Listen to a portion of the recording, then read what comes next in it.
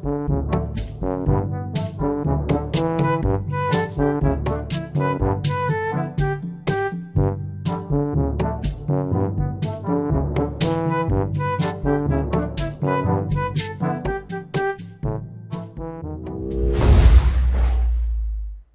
you don't mind, maybe we could spend more time together.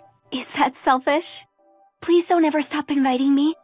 You make me want to try my hardest to be a better person. Please promise you'll never leave me. You're you're the only person I feel at ease around. I've never felt this way before. My heart is beating so fast. Okay, okay, okay. I've got a person in my closet. I've got a person in my closet. I've got a person in my closet. Too weak to handle myself out there, huh, Mother? Well, tell that to my friend Peggy. Can we get along? You're so headstrong. There's no way, go away, not so long. Just talk to me and you will see. That's not fair, using flair, you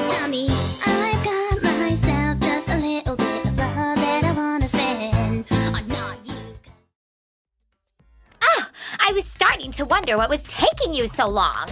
Do they seriously think I'm going to get my hands dirty cooking like some maid? If I want a croissant, I just make my butler get it for me. Hey, I am doing something. Now that I'm a superhero myself, I'll be signing autographs for anyone who wants one. Yo, Sai, this guy don't know who he is.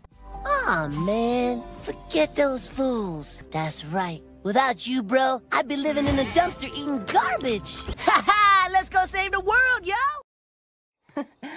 That reminds me. So I was in the grocery kingdom last Sunday, because uh, free samples, you know. They had these like shrimp cocktail dealies. So good. I was sucking the sauce off them and hucking the shrimp at the ceiling. I kept going back for more and more samples. I could not stop myself. Uh, about my friends. Well, I say friends, they're more like family. Anyway, when I was a kid, it was just me and Sven until they, you know, kind of took us in. I don't want to scare you, they can be a little inappropriate. And loud. Very loud. They're also stubborn at times and a little overbearing and. Uh, Mr. B, question. Uh, would you mind, could I ask you where you, you know, um, learned to cook? Yeah, Well, when I was eight, my mom got me a Granny Crockett Quickie Bake mixer and oven set. You know, I don't mean to brag, but my caramel turtle brownies were a real hit amongst all my friends. You know, for someone who can disarm a doomsday device, you seem to have major mixer issues. It senses your fear. Snap out of it, man. Okay, don't freak out. Just convince her to join the revolution. Do it.